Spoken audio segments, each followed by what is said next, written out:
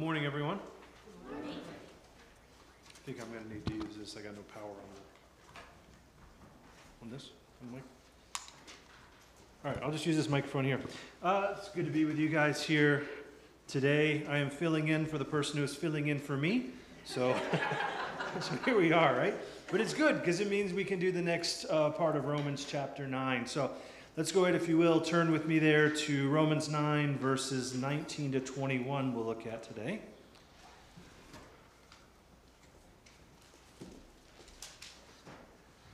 All right, now as we're going through this, we've got to remember that what Paul is going to be talking about today, it's not in a vacuum, right? He's continuing on this argument that he's been building from the two previous Sundays. All right, and if we remember last week what he had talked about there, uh, Paul had said that God has mercy on whom he has mercy, and he hardens whom he hardens.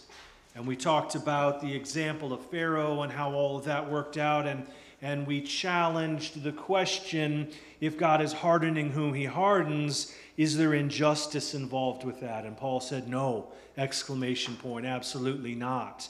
And then we kind of triangulated that passage with some other passages of Scripture, and I think we came down with a very reasonable explanation biblically as to why there is no injustice involved with that at all. So today, Paul's going to continue on um, He's going to address uh, some other parts of this, but it's still part of the same argument that we've been talking about for a little while. So let's go ahead and we'll jump in here and we'll read verses 19 to 21.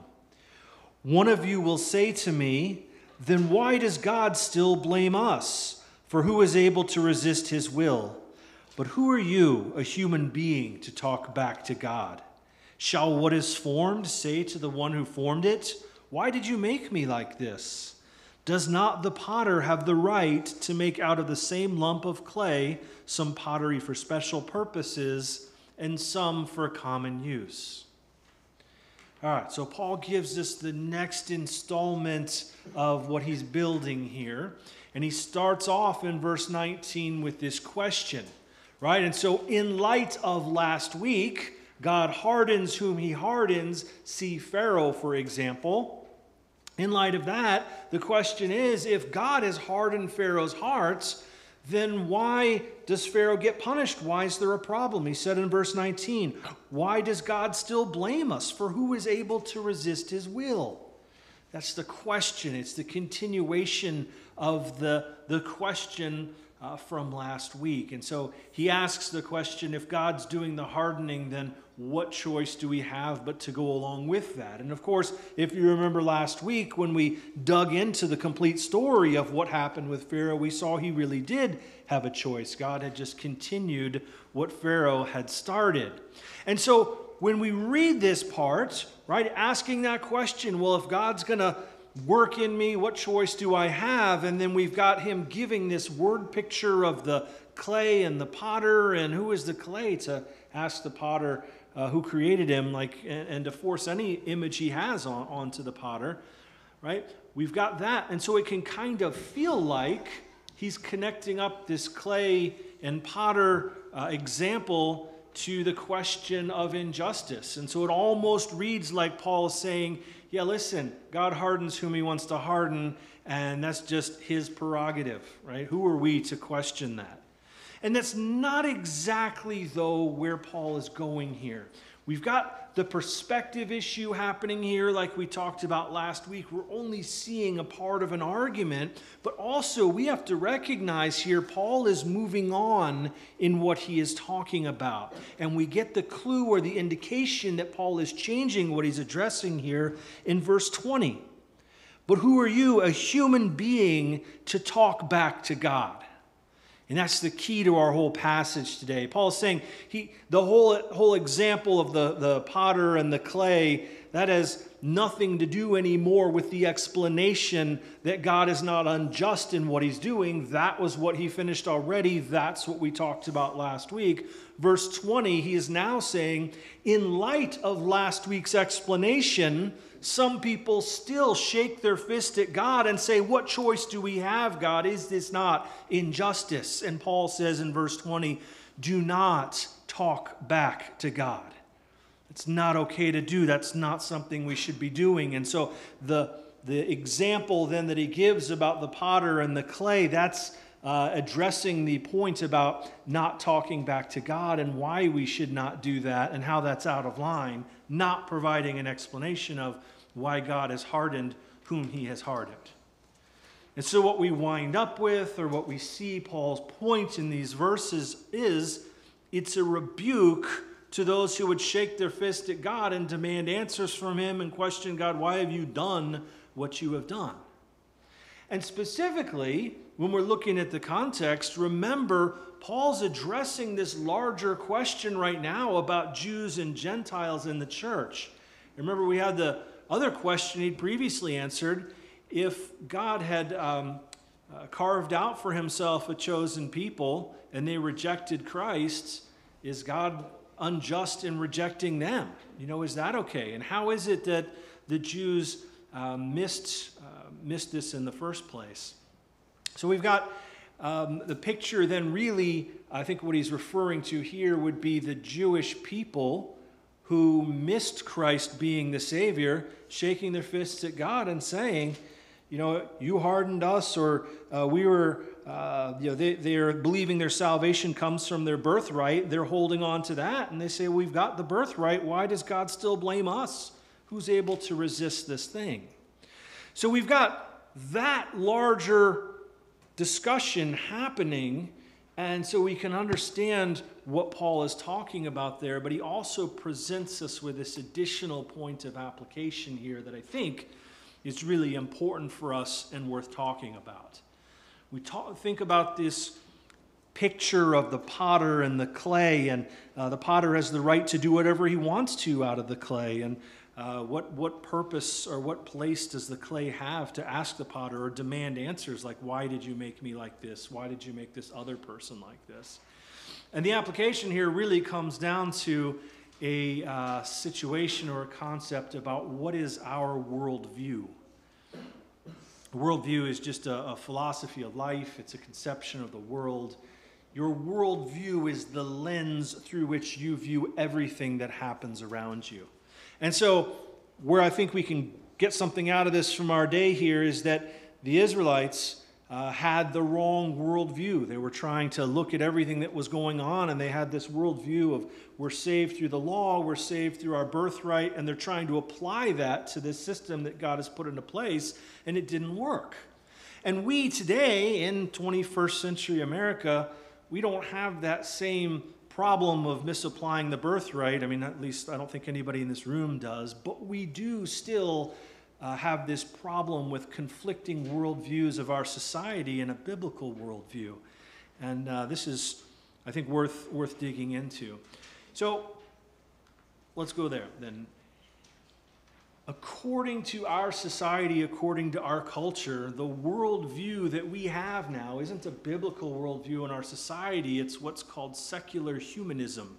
You're probably familiar with this term, but this is the worldview that we have all um, agreed to, I guess, in our culture to abide by to accommodate this um, diversity of different beliefs and different people. And here's a quick definition of secular humanism it says uh, secular humanism is an outlook or a system of thoughts attaching prime importance to human rather than divine supernatural matters.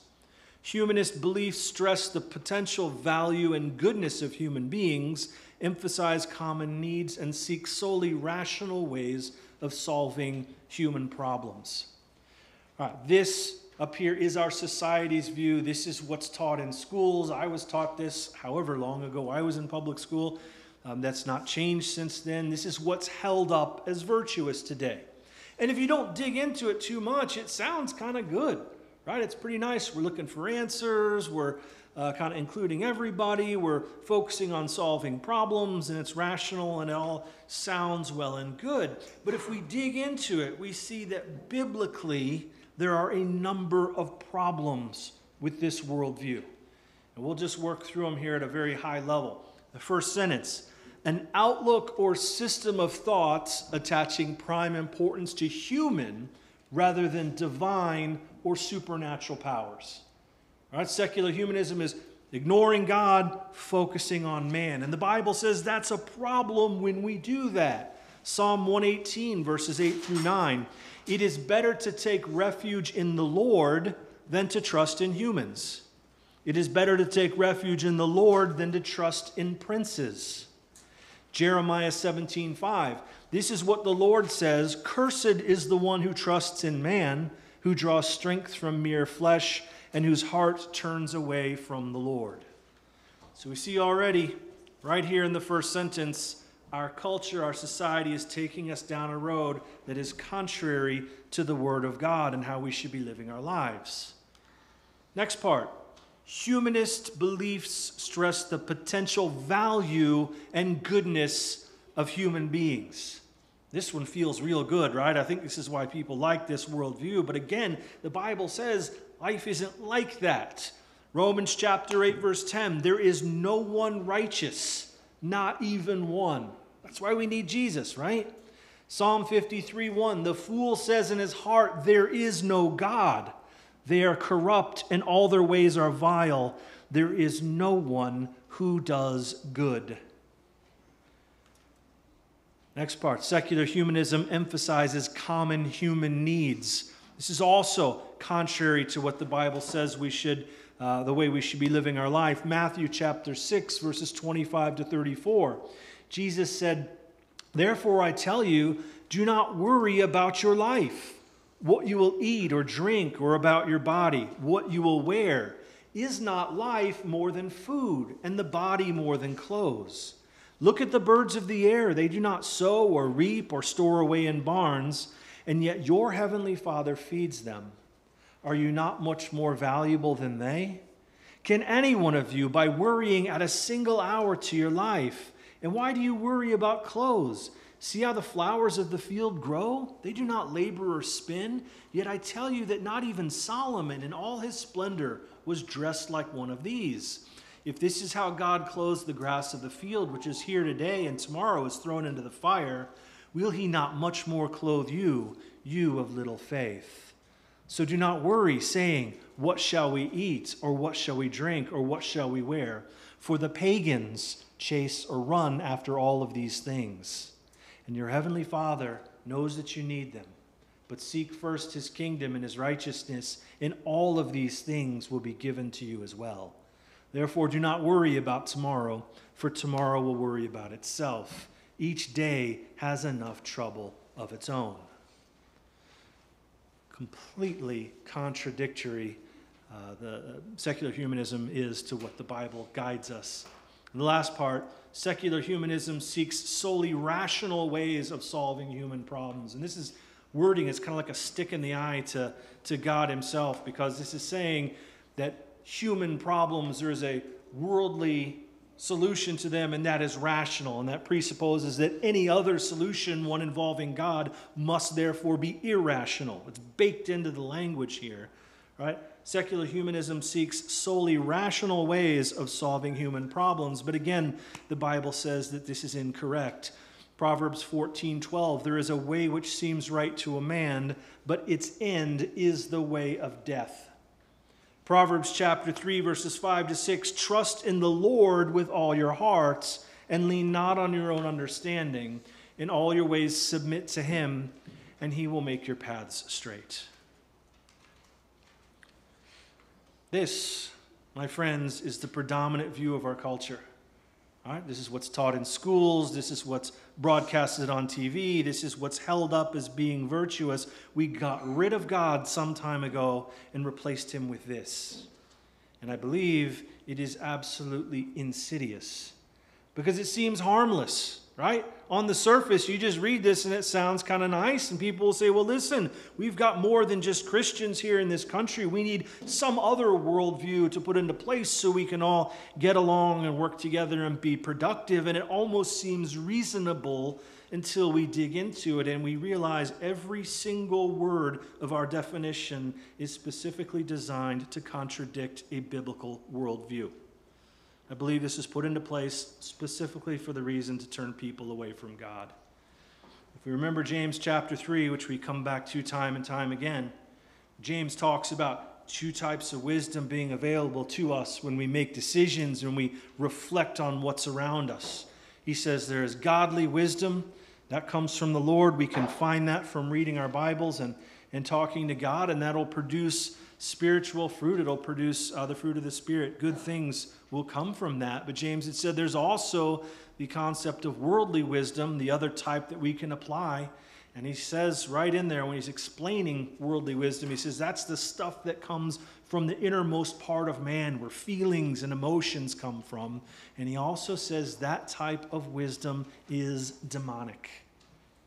Right? That is exactly what this is right here. This is all based on feelings. This is all what comes from the innermost part of man. And James had said where that type of wisdom truly comes from. So let's plot this out we'll work through how this, uh, how this plays out in real life here. And uh, then hopefully we'll get a good, good appreciation of this, and then we'll tie all this back to Romans chapter 9, I promise. Okay, so this is you or me or, or anybody else, but this is a person. And so our, our culture says that, you know, we've got this whole idea of secular humanism, and we need to interpret ourselves and what is around us based on how we feel about it. Right? I mean, that's what that's what the world is all about. It's all about feelings. And so, one of the big things, and maybe more for men than women, but it's still something for all of us, they say we all have a job, and that is part of our identity. Right? Our job is part of who we are. That's going to shape how we look at things and drive how we make some of our decisions because we are our job, according to uh, the, the thought of the day. Also, this is a big one now, we've got this concept now of race.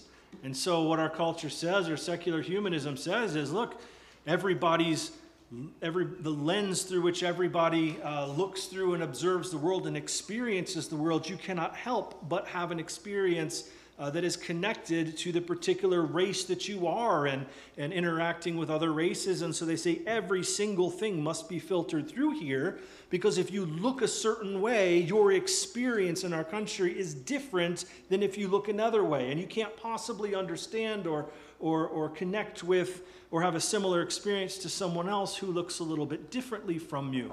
And so they say we need to make sure we think a lot about this and, and apply those aspects of, uh, of, of uh, who we are biologically, I guess, to uh, our worldview and how we process things. Gender, here's another big one. Right, it used to be that our culture had said, well, we have to also think of ourselves and filter how we view everything based on whether we are the gender that is the oppressor or the oppressed. And depending on which category you fall into, uh, then this is going to be, you're going to have a different experience in life. Now, recently, our culture has changed and says there are actually 72 genders, and we need to spend time figuring out which one we are, and that kind of colors our experiences with everything else, right? This is uh, a moving target, and, and this is something we all have to work through.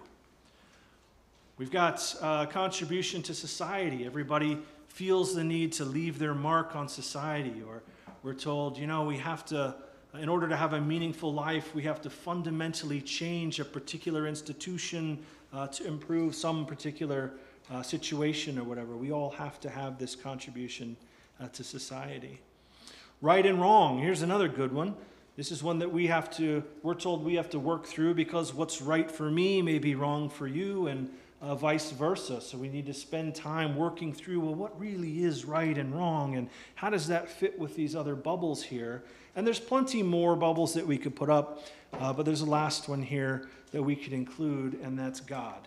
And I put God here with a lowercase g because this is our worldview, right? This is our culture's worldview, secular humanism. And just because it's secular doesn't mean there's no place for a God.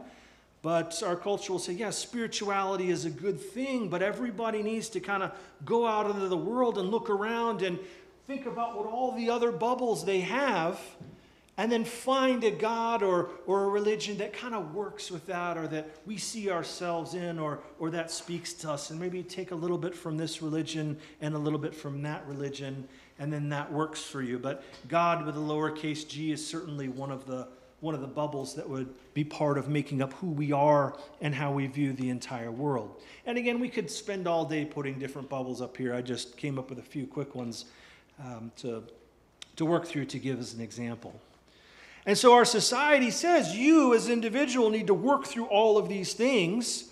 And as you think about things and as you experience things, what you have in your bubble will color how you will evaluate that. That'll determine what your experience is and what you want to do with that. But the problem is, when we're working through every single one of these things, every person then is left with the need to harmonize what all of these things are so they all work together. Otherwise, the world doesn't make sense. So people spend an enormous amount of time thinking about this and processing this and changing what they believe to, to update this or to update that. And then constantly, this has to be revisited because we know that over time, society says what should fit in these bubbles changes. And for most of the people in the room in our lifetimes, we have seen a great deal of change in this bubble down here about what's right and what's wrong. Right? When most of us were kids, we knew what was right and what was wrong. And now today it's different. Society has changed some of the rules. And so, what we are expected to do then in our worldview is to update what's in our right and wrong bubble. That's going to color the rest of our experiences. But now, suddenly, when we have done that, and we'll just pick an example, uh, we talked before about this uh, question of gender. When I was a kid, when most of us were kids, there were only two.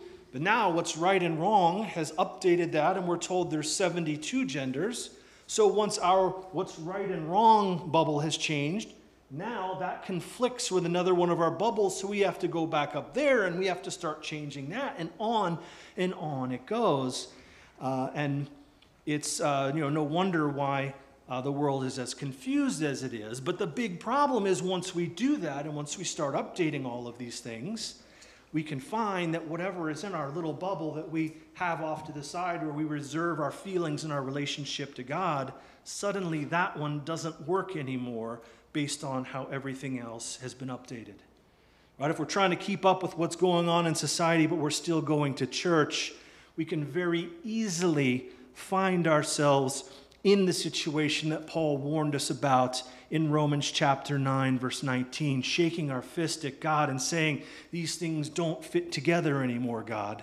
Why does God still blame us for who is able to resist his will?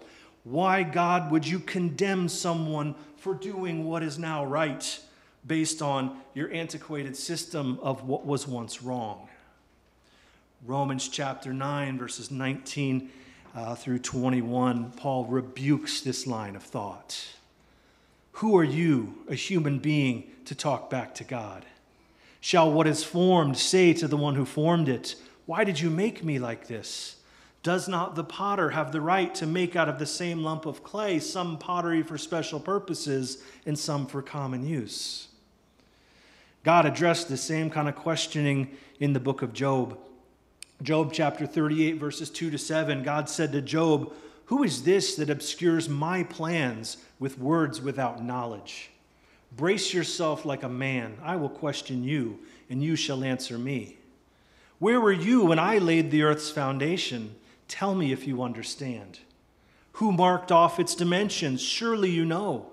Who stretched a measuring line across it, or what were its, on what were its footing set? Or who laid its cornerstone while the morning stars sang together and all the angels shouted for joy? God continues with these questions, question after question, for several more chapters. Remember, in our passage today, Paul is not addressing why it's okay for God to do the things that he does, right? That was last week. Today, he's rebuking ridiculousness like this right? He's rebuking people who change all the other bubbles in their lives and then shake their fist at God and say, Why, God, do you not make sense? God, you must change. Surely you must be this way. Paul is rebuking that line of thought. People make life so complicated. And in reality, life isn't that complicated. It's not easy, but it can be pretty simple. The answers are all in the Bible, and they're all absolutely clear only becomes complicated when we start running from God and applying other worldviews that are specifically meant to contradict the Bible, confuse the issue, and make this one bubble with God into a lowercase g and make it smaller and smaller and smaller. We can go through these. We can look at them one by one, and we'll call it a day. So, this question about our job uh, impacting our worldview or our identity who are we? The Bible says, You are not your job. Genesis chapter 1, verse 27 You are an image bearer of God. And this question of race, one of the biggest ones that we are dealing with today, this idea that we experience our life differently because of our race, or we have to bring race into every single thing, is absolutely ridiculous. This concept of race came out of Darwinism in the 1800s. This is a relatively new idea. And what race is saying is all it is is if uh, it's a presupposition that evolution is true, and so if we all came from one organism that just happens to become alive, and then over time it's split into more and more organisms, and there's a survival of the fittest. What Darwinism said was well, people, if we evolved from other animals, people must be continuing to evolve.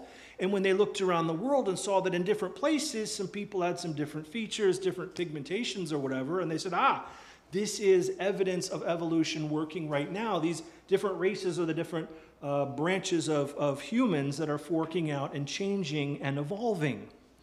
Now, since then, the science of genetics has proven this is absolutely untrue. It's false. Just not true. Yeah, people look a little bit different. Yes, that's in genetics, but we are all people. We are all fundamentally the same from a genetic perspective. But for some reason, race is still a thing, right? This is still something we talk about and we obsess about. And now, Today, with our politically correct world that we live in, we have to acknowledge evolution and that everything's changing. And so we've got this idea of the different branches of people changing, right? These are different races. But if we try to say uh, that there's any difference between any of these diverging branches of evolution, that's somehow hateful. Right? It doesn't make any sense at all. And so it's no wonder that the world is confused and very, very angry. In the science of genetics, has only recently discovered what the Bible told us 2,000 years ago. That's Acts chapter 17, verse 26. And God made of one blood all nations of men for to dwell on the face of the earth. A caveat, that's from the King James, probably not the greatest translation of this passage, but I think it's instructive. God made of one blood all nations of men for to dwell on the face of the earth. Gender. All right, so we got our issue there. Our identity is supposed to be shaped by our gender, however many there are. We are either the oppressed gender or the oppressor, or now there's 72 of them, I guess. But the Bible says, no, that's not correct. Genesis chapter 1, verse 27. So God created mankind in his own image. In the image of God, he created them, male and female, he created them. Bible specifically calls out two genders, and it says both male and female, are image bearers of God.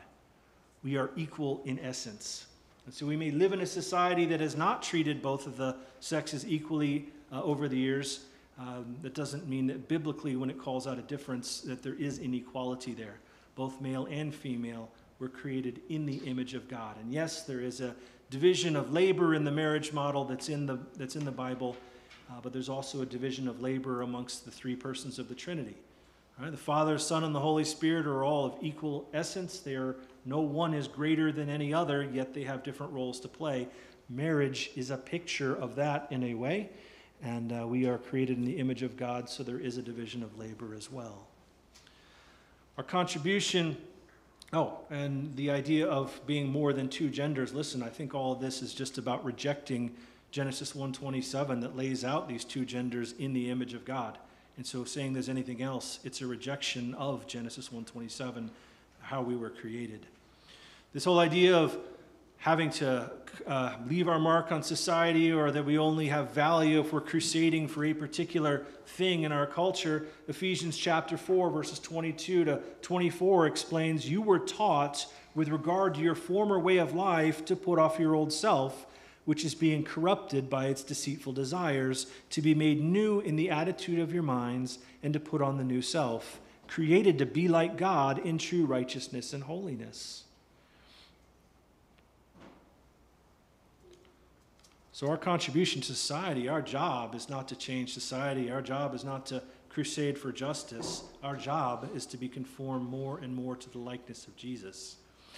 Right and wrong We'll look at that one next. And we've been over this one already, but Uh, right and wrong is not something that we need to fret over what's right for you, what's wrong for me, or what do we need to update. The Bible tells us what's right and what's wrong. Galatians chapter 5, verses 19 to 26. The acts of the sinful nature are obvious, and then it lists them.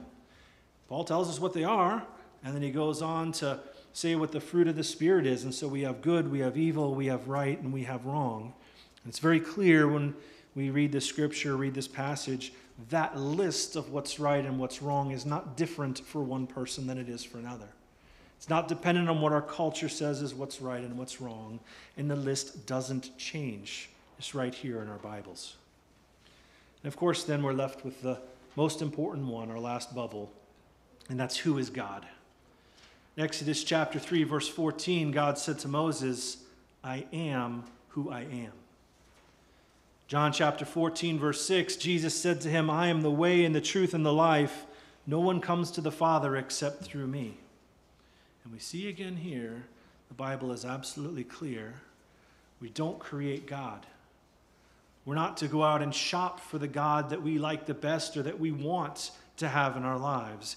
He is who He is. Shall what is formed say to the one who formed it, Why did you make me this way? Where were you when I laid the foundations of the earth? The only worldview that we need is a biblical worldview.